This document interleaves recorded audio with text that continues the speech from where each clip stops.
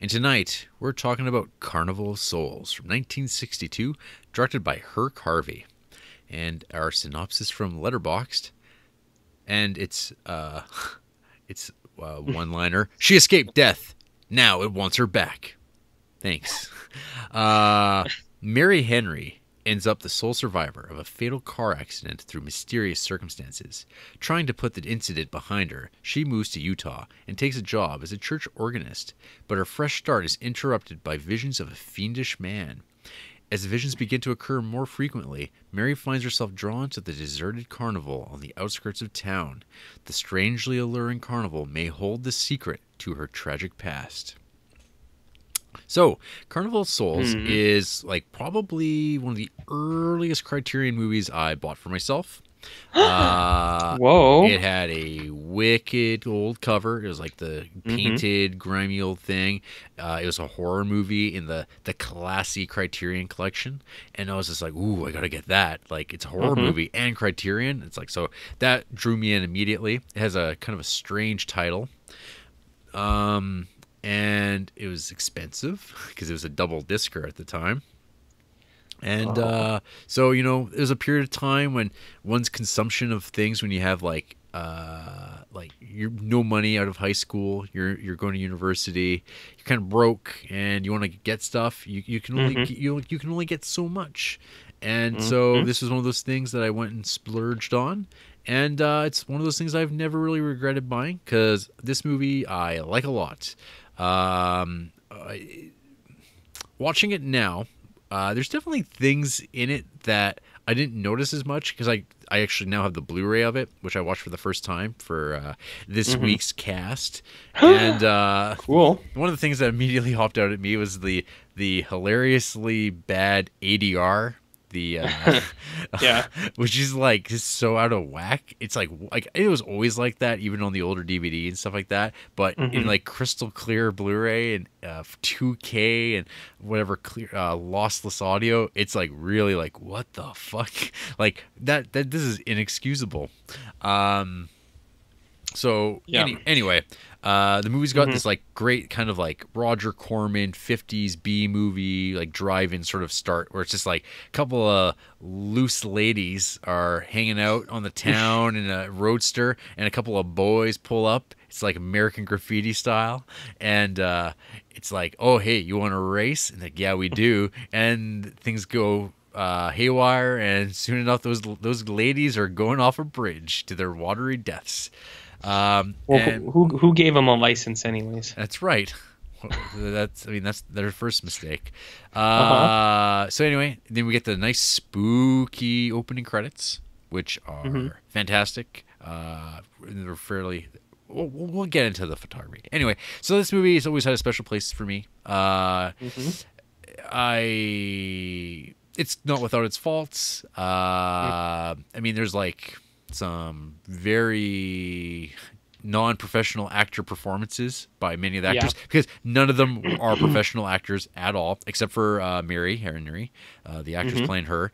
She is the only one uh, that actually had some like acting under her belt. Everyone else is just like people they had on hand in Salt Lake City, Utah, making their movie, uh, and they just went worked with it, which kind of I don't know. It doesn't detract too too much for me. Uh, but yeah, this movie looks great. It has this uh, what do you call it? It's like this clean professional cinematography that Mhm. I like really like. Like it looks great because it's just like using the that period and that period of time also having to manufacture really great looking clothing and just general design and buildings and spaces everything's just like so much more evocative of that it, it just it looks like the time because it's like this amateurish production um, it could only use like actual locations and stuff like that. So everything looks genuine uh, and when you're com- compel or combining that with the strangeness of the story this like kind of like odd kind of like ghost story slash kind of like internal psychological drama uh, it, it gives the movie this weird air to it. So that's kind of my initial piece here on carnival of souls. Uh, rj Yo. tell me your history of carnival souls and how you how does it make you feel Well, there's this carnival in Creepsville called Whoop Up Days, uh-huh. and uh, the midway is always covered in piss from uh, some of the lesser reputable people of our town. Um, I'm talking about, you know, the people who piss on the midway in front of everyone. I've So when I I've, I've never experienced this. You've never seen that? You know when you go for an elephant ear Yeah. and then you walk the midway, you're like, I haven't been here since I was a kid. And it just reeks like piss everywhere from the carnies and No. the, the drunks, the, the local drunks. No, it doesn't. What do you- Well, anyways, I bring it up because when I heard of this Carnival of Souls, all I could think of was, I hope it's better than that Carnival of Piss we have in our hometown. And uh, you know what? Carnival of piss. Carnival of Piss.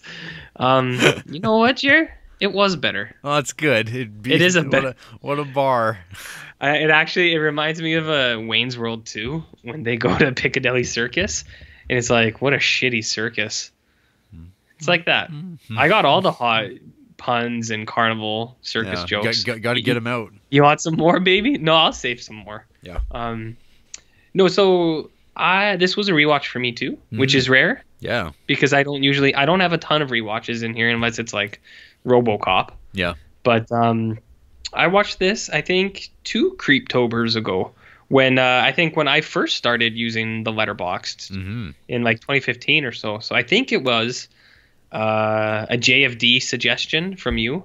Oh. Um, well, Letterboxd was for sure. yeah. And then I believe, as we've talked in the Ghoul Schools, when we started uh, talking more frequently was when uh, it was around the Halloween season, and you were not the biggest fan of my picks for my Halloween movies, and you Well, started yeah. giving me better things to watch. exactly.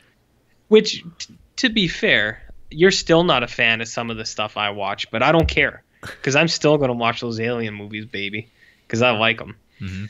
Uh, but no, yeah, I think you, I, you had never lent this to me. I think maybe I had heard you talk about it or something. Yeah, I don't. Yeah, So, I, don't, I uh, don't recall ever uh, lending it out. Yeah. really you you didn't. Yeah, you didn't lend it to me or anything like that. Um, I just I think I remember you brought it up once or something.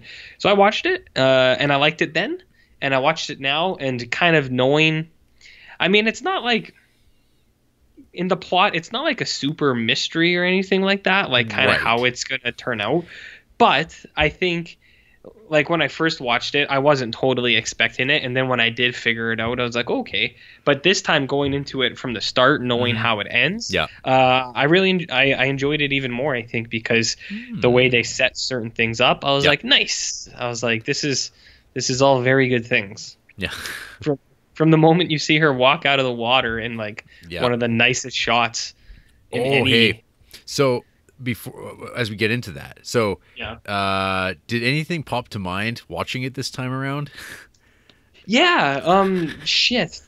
There was so much stuff. Uh, there was like two two big ones. Okay, You so- just go because so, it'll so take my me. so my two big things, and I was gonna I I, Yeah. I I didn't post these on Instagram yet, but like one of the common things I guess tossed about with Carnival of Souls is people allude to this movie being an influence on David Lynch, and no one ever really s- explains that. No one ever like says, "Oh, David Lynch absolutely said that at some point." No one he's never said that as far as I could tell. But there's a couple things here. Number one, when uh, Mary Henry uh, Yep. gets out of that water. And she's at that bridge. It is very uh, much like uh, Ronette Pulaski Mhm. uh, in Twin Peaks when she's walking across that bridge in the pilot Right. of Twin Peaks. She's like covered in mud and just like sort of walking around like a zombie, like she's half dead. Mm-hmm. And like that's very kind of similar. And also the one that I it, it hit me immediately is like her name's Mary Henry, which are the names of Henry in Eraserhead and his girlfriend Mary. Ah, Yeah, cool. Mar- I didn't know that. Yeah. Yeah. I didn't pick up on that one. Yeah, like as soon as I heard Mary Henry, I went, "Wait, Mary?" And I was like, "Henry?" I'm like, "Oh fuck," because Mm-hmm. I think that it's like she's like Mary X in Henry, like whatever. Yeah. They, they, it's a you know, it's a it's a Lynch thing. I feel you, man. Yeah. That's cool. I didn't uh like I think I was her walking out of that, I think I was trying to connect that to some something Lynchian, like because he has that thing where he has ladies walking around distraught. But uh, there was something else I was thinking of, and it'll come to me later on. Okay. But yeah, that's like the best shot ever. And uh, no, that's cool. I didn't piece those together. But anyways, back to my original Yeah. thoughts. Uh, yeah, I really like this movie. Um, it's kind of like what you said. It's not this movie. it's not going to win over any acting things, but it's not trying to, No. Like it's not trying to be grade A acting, and I don't think it needs to be either because I think the people who are going to enjoy this movie are going to like the the elements of it for what they are more than any of the acting and Mhm. like you and me like we watch a lot of shit that has bad acting but that doesn't stop us from liking it That's right. um yeah so i i think the the two things that after i had watched it the first time i think i looked on Letterboxd or something and uh, they do stick out so they're kind of like they're almost cliched things to say now but they do but for a good reason like there's a lot one of them is like atmosphere and like mood in this movie Yeah. because it does establish that really well where it's uh um it's kind of like there's a lot of scenes where the music dic- dictates how things are going and it's kind of in this somber That oh, Like that, that back and forth organ sound. yeah the back and forth organ organ sound and uh like the spooky music uh, and then also it's like a Twilight Zone episode, which I I'm pretty sure a lot of people say, Oh, but you know yeah. So I, I feel like that's your obligatory like uh, generic Yeah. statement about It- this movie. Yeah, so one of the things I uh in preparation for this is so I read the uh the essay with the new Blu-ray which is written by uh, Mm-hmm. Kier-La Janisse who's like awesome. She's this great uh uh I don't know how, she, how old she is now, probably in her 40s, but she's like this uh female curator of film. She wrote this awesome book called House of Psychotic Women. She actually uh, kind of uh, was in the Vancouver film scene and did these like really great horror festivals and like just cult genre sort of stuff. So she's like really good at writing and talking about stuff. Her essay is very good on this, and she name drops uh, the Twilight Zone, but not just the show in general, but a particular episode of the Twilight Zone called The Hitchhiker Ooh, which it is very very similar to Carnival of Souls, and it would have come out I bet. uh, a year earlier, two years earlier. So who knows what uh, Mhm. Herk Harvey uh, would have thought about the Hitchhiker? He probably would have seen it. But uh, so the plot of the Hitchhiker is this woman, this blonde woman, is driving her car across America to uh, settle down in San Francisco from Mhm. like Philadelphia, I think, and uh, this this episode opens up with her like, oh, she or her car blew out on her, her uh, tire blew out on her, and her car's getting fixed, and then she starts seeing this hitchhiker like following her around, and he keeps thumbing her for a ride, saying, eh, and she just ignores him. But then like she'll drive like five ten minutes up the road, and then she'll see him again. And then she'll see him again, and then she'll see him again, and then she'll stop at a gas station and be filling up, and she'll look over, and there he is, it Nice. for a ride and it's just like this like thing of like what's going on and she's driving and then he just appears like when you don't expect him and Mhm. i mean uh spoiler for this fucking old ass tv show uh hitchhiker th- th- this man who doesn't really speak too much in the show he is Mhm. death because she did she died that tire she Mhm. did not survive the tire explosion and i mean like it's pretty telegraphed now because we're we're kind of taught how to watch for those type of beats but the episode Right. is like really like it's well shot black and white it's got a great simple story uh the it's all under it's mostly underplayed probably the worst part is it's got a voiceover narration to her like Mhm. internal monologue which is always kind of like dodgy it's like if you took that out it would be like fine to do and people would probably like it even more Right. so there's like definitely like there there is a reason why people go this is like Twilight Zone because there's like this really cool list I found on Letterboxd too uh, this Mhm. week where it's like like Twilight Zone like movies, and it's Oh. just like and it's like all like really good movies. Like that's the Yeah. thing. It's like Twilight Zone. People throw that around and describe things like that all the time, but in the Oh, best yeah. in the best way possible. I don't think anyone goes yeah, but it's just like a Twilight Zone episode. Um, No, yeah, it's usually like it's. I, th- I feel like especially when it's like good movies, people say the one thing I hear all the time is people are like, it's like a great Twilight Zone episode. It's never like, oh, it's like a real bad Twilight Zone. Right. Actually, maybe some people do say that. I don't know. No- no I don't. talks- I don't know everybody. No one talks about bad Twilight Zone episodes though. Uh, and so after I watched, uh, I rewatched the Hitchhiker, uh, just to have it in Mhm. mind after wa- or when I watched uh, Carnival of Souls.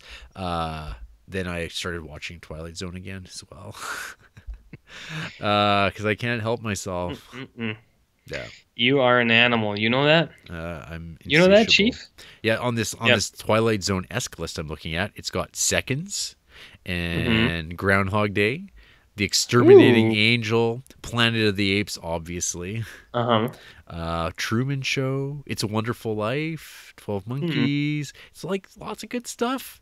There's a lot. Of, there's a lot. Like it's a great thing to be like Twilight Zone. I think Hey man, speculative sci-fi. that's right. It's the tits. Well, I mean the the the TV show Black Mirror. It's like Yeah, modern day. Twilight Zone. People love it. hmm Yeah.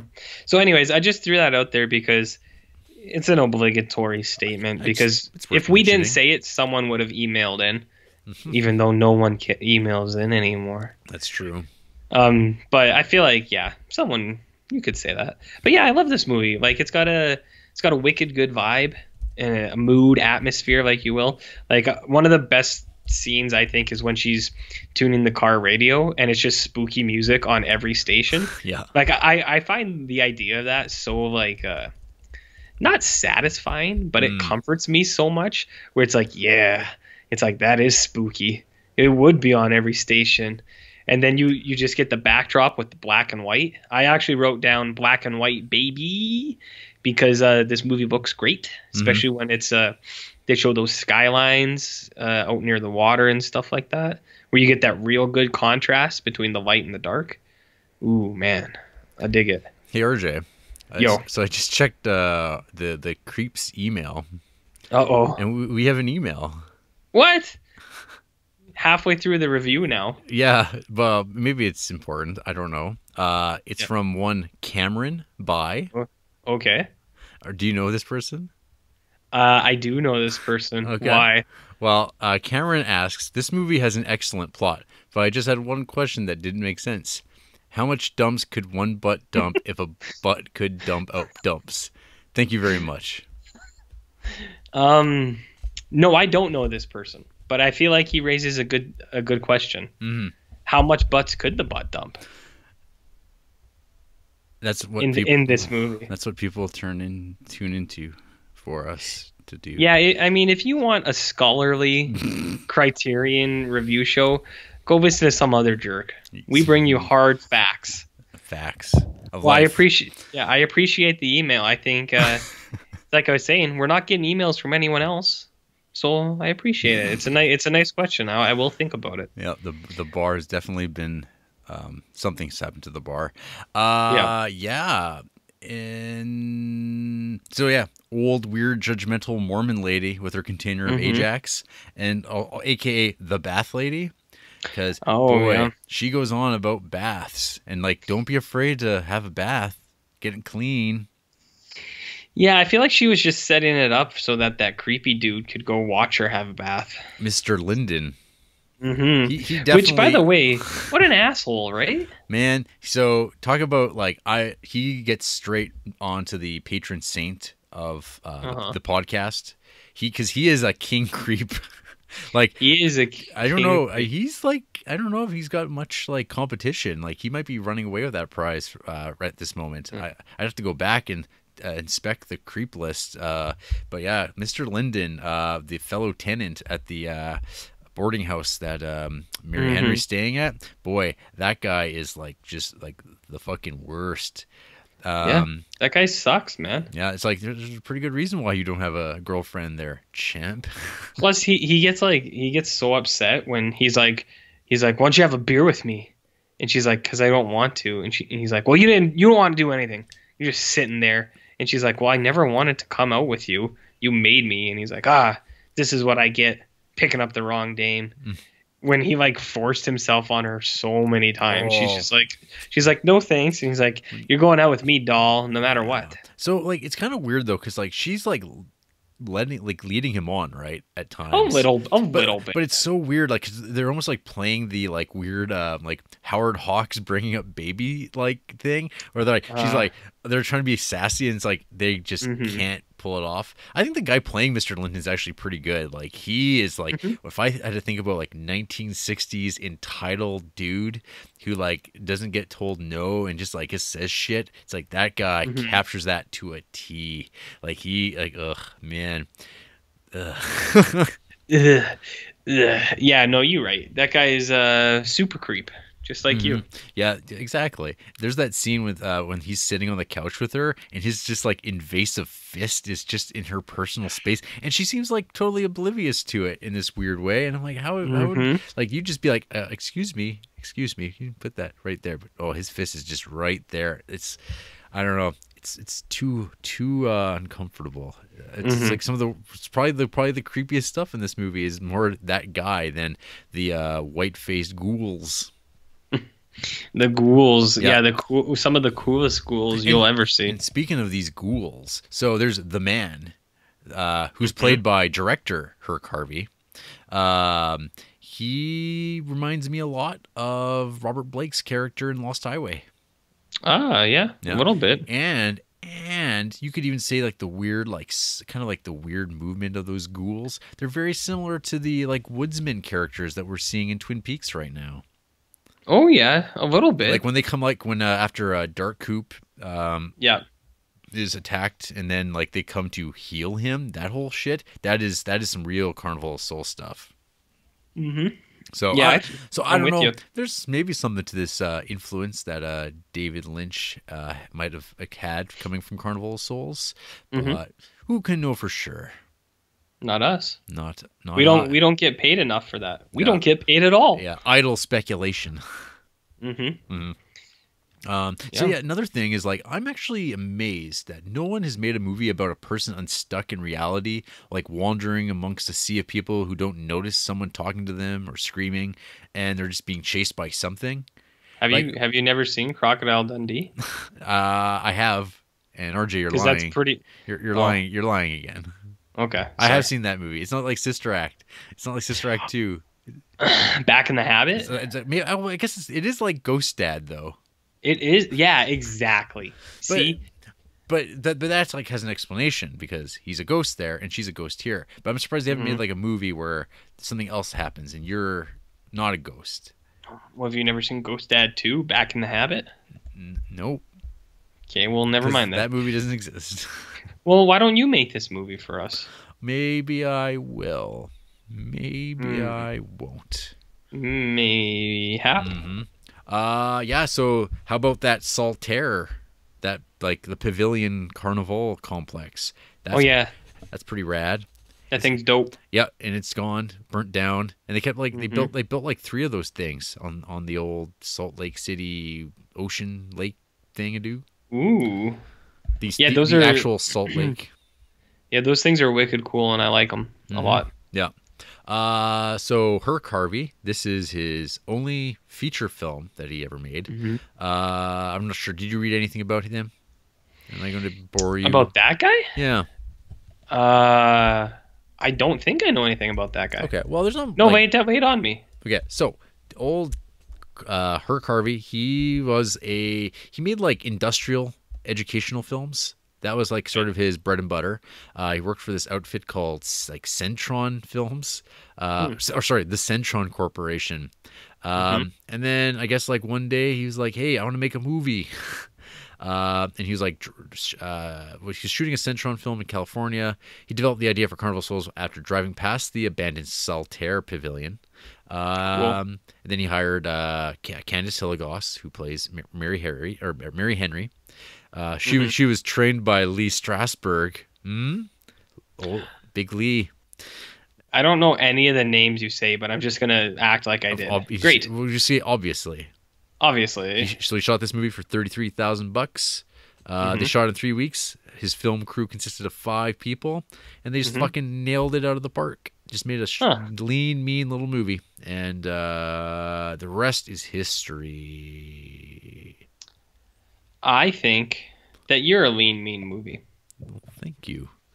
But Uh, those educational spurts is why some people tune in. So spurts. spurts, so, you know, when sometimes when you get manic and you have those spurts of Mhm. educationalism. Yeah.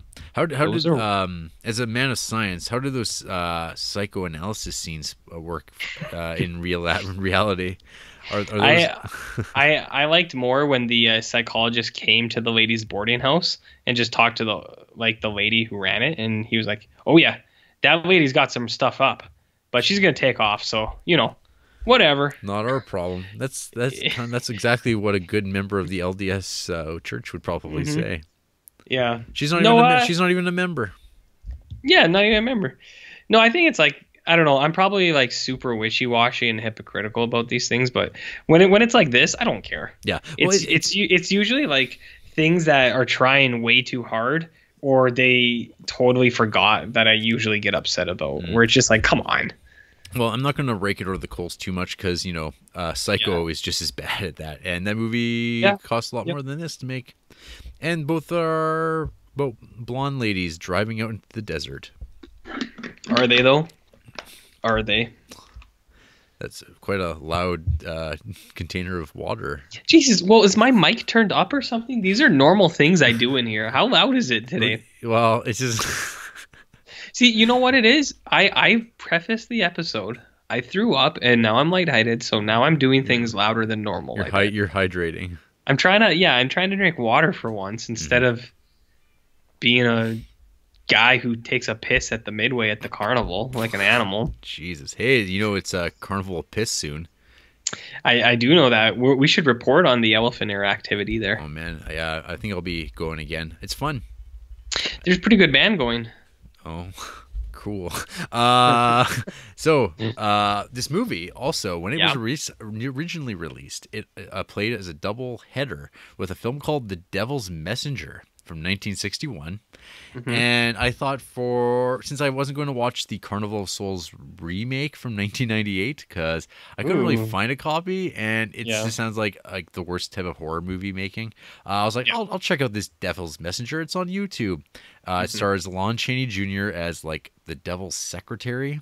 Uh, this thing, all Mm-hmm. it is, RJ, is a couple bookends filmed with Lon Chaney uh, checking people in on his Rolodex uh, on a, at a desk uh, into hell, and then he has a Mm-hmm. woman called Satania that he sends as a messenger to go do things on Earth. And what then happens is it cuts away to episodes of a like Swedish like television show that was essentially a Swedish Twilight Zone. Hmm. And uh, yeah, uh, there's not much more to say about it. Uh, other than it's got a couple of neat little short stories kind of tossed into it. Uh, the one with this like the crazy photographer who's really obsessed about his art. He takes a picture of this house and this woman comes out and he like proceeds to go after her. She rejects him. He he I guess like off camera strangles her to death and gets the fuck out of there. But he starts developing his film on his camera and sees the house. He tries to burn the film, but one of the prints gets through, and then suddenly all this all this attention gets foisted upon him, and uh, he's like this photo that he took of the house before he committed this maybe murder. Who knows if he Mhm. actually did this or not? Uh, it starts becoming very prominent, and everyone wants to look at this photo. And then whenever he looks at the photo, he sees the woman coming out of the house, coming toward him in still photo in, in the still that only he's seeing, and then he dies. it's that it's that kind of thing, but Was it good? mm, it's it's not necessary. Hey, so I I had never heard of this 1998 remake. Yeah. Uh, apparently, Wes Craven presents Enter at Your Own Risk, Yeah. Carnival of Souls. Uh, yeah. Have you read the description for this? Yeah. I don't think they watched the original movie. Even. Yeah. Alex Grant is a troubled young woman. Twenty years old. Years ago, she witnessed her mother get murdered by a carnival clown. Mhm. She has nightmares of the clown. First, uh, nightmares of the clown Lewis. First, a kind man that turned bad and also tried to rape Alex's mother. Alex fears for her life, worrying that Lewis might come after her and her younger sister. One day, Lewis returns after being released from prison for murdering Alex's mother and tries to kill Alex. Alex drives the car. Dries.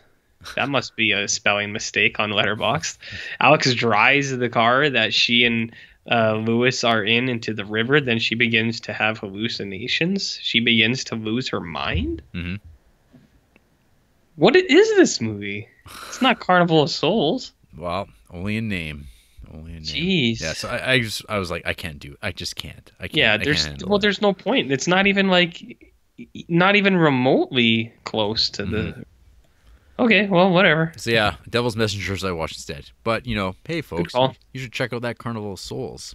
But be Mm-hmm. warned, because apparently there's people who like don't like this movie at all.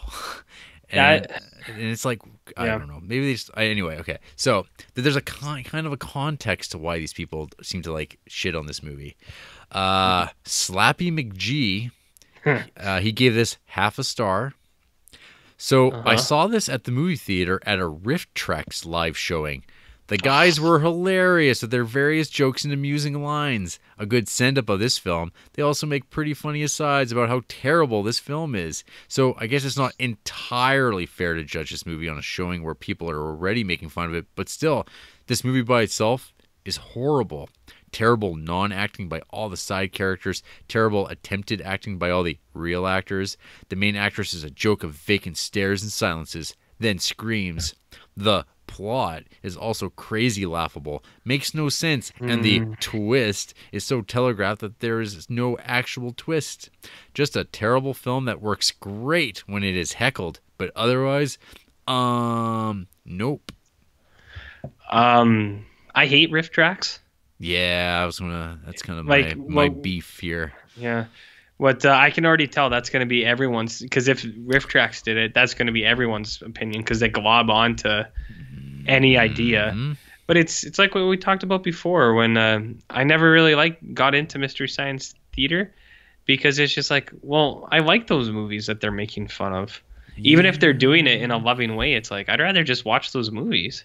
Yeah, it's the weird like positioning of like the fact that I don't know these film Mhm. these these these schmarmy schmucks think that like Yeah. the people making these films weren't in on their own joke. I guess like there's definitely films that like they're bad. You Mm-hmm. can watch them, but like there's this whole idea like creating a culture around like watching people do a RiffTrax like do it and you're watching Mhm. it as a show it's kind of weird but maybe it's also weird that people listening to podcasts where we're kind of doing not, not the same thing but we're, we're, we're talk we're i guess we're a little there's a bit more of a critical discourse maybe that's occurring Yeah. i don't know I, I don't. I don't always go I don't like this because you know RiffTrax made fun of it and they and that's yeah that's the thing but you know. i mean people are fucking dumb people are sheep yep we need sure to, are we need to take our computers and throw them out the door and go back to a, a, a primal time when things were just better we, Are you talking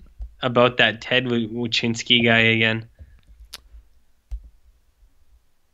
alex Lovendahl gave this Oh, film God. one star almost like a well shot twilight zone but the fun is spoiled by a rapey subplot irritating music and shallow characterization were this more invested in the danger of isolation like repulsion eraserhead and Pi come to mind Oh, or the up. or the dismissal of women's terror, I think this might work. But so as it is, it's gratingly repetitive. I, I hate when people compare movies in clusters like that, like Repulsion, whatever else they said. I don't even remember anymore. It's dumb. It's dumb. It's only Um, cool when I do it. Yeah. Okay. Nerds. And here's uh here's the mother. Gex. One star. And- okay. Uh, this is this was from Halloween of last year. Holy fuck, this was bad. I thought this was a classic. Movies this shitty are supposed to be forgotten. It managed a couple so bad it's good moments, but otherwise it's just some, composed of some blonde staring into the nothingness of the plot with no substance except that of one large fat fucking red herring. God damn it, fucking fuck this fucking. Uh, then they, he does some gimmicks. It's a struggle to get through this movie. I don't think I could have done it without the RiffTrax live treatment. Oh, sh- come on. Ah, yeah. If it didn't get some laughs out of me that were independent of the riffs, this would have gotten half a star. A rating I have only given two films. This movie is really fucking boring, and I think RiffTrax was trying to convey that message to me on the Thursday premiere. On that day, I learned an important lesson about Fandango and RiffTrax live. It's not live, it's recorded via Dash or Dish Network. And then he starts talking about fucking RiffTrax. Why? Because RiffTrax is that- the worst, RJ. It's the fucking worst. Okay, I'm uh okay, you you buy time for a minute Yeah. because I'm gonna find what else this guy gave a half a Oh, star. I, I got it right here because I've got his uh, Okay. Gex. So Gex's favorite films, RJ, yeah. The Dark Crystal, Okay, yeah, I, I Aliens, uh, if yeah, okay. RoboCop, Oh come on. Raiders of the Lost Ark. Mm, those are like, I think it's Are, See, are, movies- RJ, movies- what, what you're trying to say is this this person's a basic bitch. yeah. I was gonna say like those movies are generic enough. Like yeah, I like those movies a lot too, but none of those are my favorite movies. Like Mm-hmm. it's like when we keep finding guys who their favorite movies are. When actually, you know what? You know what movie's been on all of these people who, like, uh, these people who write these horrible reviews, and we go look at their favorite movies. I think Raiders of the Lost Ark has been on every one of them. I actually really like that movie. It's an awesome the- movie. Yeah, but the last one too, like the guy had The Matrix, and uh, it's it's always like Raiders, The Matrix, one of the Lord of the Rings, and usually not Fellowship, which is the best one, and then like either something like Aliens or something like Jurassic Park, and it's just like yeah, those are all good movies, but come on, man, There's there's more than this. yeah, it's like for for those to be your favorite, as you said, I, I guess they're they're basic bitches. That's right. Uh, Slappy McGee's uh, favorite films: Leon from the man, the one and only Luc Besson, Raising Arizona, uh, which is a Ah, okay. it's a Coen Brothers movie that I personally hold in low regard because it's a little Okay. too slappy. It's a little too too Slappy McGee for me. Mhm. Brazil and Fantastic Planet. Oh, okay. Well, I've never seen Fantastic Planet. we but- will one day. Is that in the Criterion? It is. For real? I didn't know that. Uh, Maybe are are you not thinking of Forbidden Planet? Are you? The sci-fi one. Are they both? Well, isn't Fantastic Planet like a sci-fi one too? It's an animated one, and then Forbidden Planet's the one with the like uh what god's what's his goddamn name? Mm, Uh Canadian man. yeah, Uh Naked Gun. I got you. That- Leslie Nielsen? Leslie Nielsen. Yep, young Leslie Nielsen. How do you forget that? That guy's a national treasure. That's what the commercials in the theater tell me. Yeah. Hey, I just looked up something. This Gex guy. Yeah. He within the last week he gave your beloved UHF a two and a half star. Well, you know, as discussed in previous episodes, comedy is subjective. But Yeah. come on, folks, Carnival Souls is good stuff.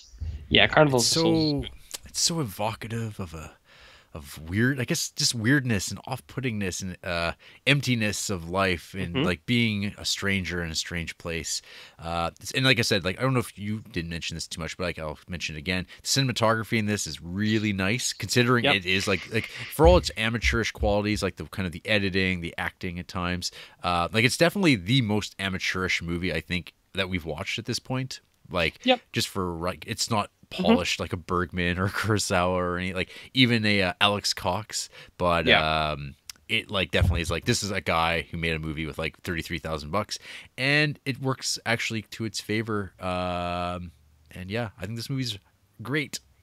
Yep, I agree, dude. I have uh, I have two more notes that I forgot. Okay. Uh, one was a quote that I thought was really fucking harsh. After she plays that devil song, Yeah. and the priest kicks her out. He says, "and quote, I feel sorry for you and your lack of soul." Yeah. And I thought that was such a harsh thing to say to someone, even if they're not like religious. It's like Jesus, man. I thought, you know, That's I, that's a little harsh. I think he but actually he did like Does he this- mean it in like a literal sense? Yeah, well, it's like I don't know, Baptists. I don't fucking know. Or I guess maybe it's just playing on the uh, He's a the he's a- actual he's plot of a- this movie. He's a Baptist preacher in a Mormon town. Yeah, I guess it's because she was a wandering soul. She was. Uh, Yeah, and then my he last. felt, he felt bad about it. He sold that. Yeah. He, he's like, oh, man, shit, this is tough.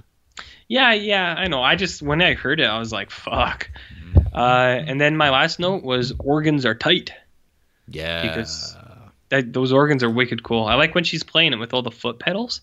yeah, and the, like, and, and the way it's shot too. Like it's like Yeah, it looks wicked. Yeah, it looks great.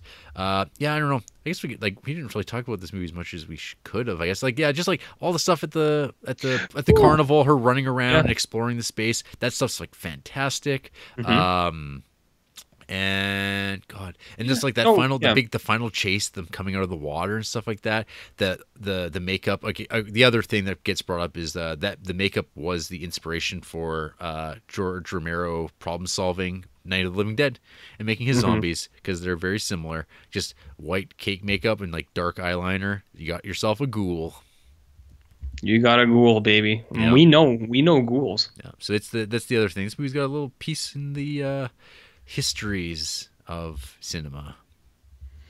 I I Sorry, Agree. Slappy McGee and Gex Gex. watching movies with RiffTrax. Mm-hmm. Yeah, uh, I think if if we ever stop doing this show and people don't remember us anymore, I hope the one thing that lasts is that we've decided that riff track sucks Yeah, it sucks because it, it- Okay. because it's just guys making fun of movies that are actually that they just don't like, and it's like okay, whatever. So is so how would you differentiate it from Mr. Plinkett? Um, Mr. Pl- I, well, I've never watched a RiffTrax, but does RiffTrax go into like action No, they- as in depth critical analysis as Mr. Plinkett no, no, does? no. See, that's the thing. Is like with that, like someone might throw that out there, and my answer Yeah. would be like, because no, like Mr. Plinkett actually is like sort of a film analysis. It's not just like Yeah. a commentary track. He he puts a lot of work into that oh shit. they're man. like they're So- like they're like those like those Star Wars ones. They're like pretty immaculately uh, edited. Mhm. And I mean, those are movie those are movies in their films in them in themselves. You they know. are yeah. They're they're actually like there's actual effort put into that rather than, uh, well we put the effort into the script to be funny to shit on this movie that people worked really hard on 50 years ago to get ourselves over. Yeah. Yeah. No, I I think the same way. But yeah, I think if anyone ever made that comparison, it'd be like, well, have you seen a, Plinkett? Because those are wicked, and there's a lot of work into those. Yeah, I mean, if to give someone credit, I guess like the one thing that you could probably uh, like the Mystery Science Theater treatment of Manos, The Hands of Fate. I don't know if that movie would be much fun watching without them making fun of Sure. it because that that movie definitely. I think the only people talk about it is because of Mystery Science Theater, so it's the thing where it's elevated it. But I mean, Sure. fuck, like these guys are uh, they're tackling a, a- sacred cow here in this Criterion horror movie. So Mhm. fuck these guys. Yeah, well, even even in that sense, like if it was a movie like that, that was like a a good bad movie, I would just rather watch it with my own friends than watch it than have someone else Yeah. tell me the jokes. And I'm like almost positive that they, these guys probably actually really like the movie. Like I would Yeah. guess, but anyway, well, anyways, you heard it here first. It's a certified hit. We like it. Carnival Souls is good. This is the good Mhm. stretch, brother. The good stretch. Well. I've been waiting because you've been giving me nothing but shit lately. Well, you blame uh, At the, Carnival of Piss. the, the Criterion Booker yeah. at the at the Criterion Carnival. Uh, after the break, uh, ghouls will chase us down and drag us to our watery deaths because we died in that car crash. RJ. I'd rather die in the car crash than at the piss